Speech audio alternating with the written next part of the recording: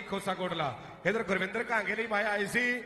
ਤੇ ਗੁਰਵਿੰਦਰ ਕਾਂਗੇ ਨੇ ਉਹਨਾਂ ਉਹਨਾਂ ਪੈਸਿਆਂ ਚੋਂ 500 ਕੱਢ ਕੇ ਮੈਨੂੰ ਫੜਾਤਾ ਵੀ ਆ ਜਿਹੜੇ ਸਬਰ ਕੱਤੇ ਵਾਲੇ ਸੇਵਾਦਾਰ ਸੇਵਾ ਕਰਦੇ ਆ। ਉਹਨਾਂ ਨੂੰ ਦੇ ਦੇਣਾ ਮੈਂ ਬਾਬਾ ਜੀ ਨੂੰ ਬੇਨਤੀ ਕਰਦਾ ਵੀ ਆ 500 ਗੁਰਵਿੰਦਰ ਕਾਂਗੇ ਵੱਲੋਂ ਆਇਆ ਆ ਵੰਡ ਲਓ ਬਾਈ ਆਪਣਾ ਆ ਸਬਰ ਕੱਤੇ ਵਾਲੇ ਜਿਹੜੇ ਚਾਰੇ ਪੰਜੇ ਵੀਰ ਆ ਨਾ, ਆਪਸ ਦੇ ਵਿੱਚ ਵੰਡ ਲਓ ਤੁਸੀਂ। ਇਹੀ ਉੱਤੇ ਖਾਸੀਅਤ ਹੈ। ਇਹ ਪੰਜ ਵੀਰ ਹੈ ਤੇ 500 ਰੁਪਏ ਜਿਹੜਾ ਸਾਡੇ ਵੀਰਾਂ ਨੇ ਗੁਰਵਿੰਦਰ ਘਾਂਗੇ ਨੇ ਪੁੱਜਦਾ ਕਰ ਦਿੱਤਾ ਹੈ।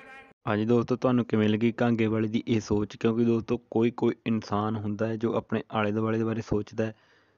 ਹਾਂਜੀ, ਤੁਹਾਨੂੰ ਕਿਵੇਂ ਲੱਗੀ ਕਾਂਗੇ ਵਾਲੇ ਦੀ ਇਹ ਸੋਚ? ਕਮੈਂਟ ਕਰਕੇ ਜਰੂਰ ਦੱਸਣਾ ਜੀ ਤੇ ਦੋਸਤੋ ਕੌਣ ਕੌਣ ਕਾਂਗੇ ਵਾਲੇ ਦਾ ਫੈਨ ਹੈ? ਕਮੈਂਟ ਕਰਕੇ ਜਰੂਰ ਦੱਸਣਾ।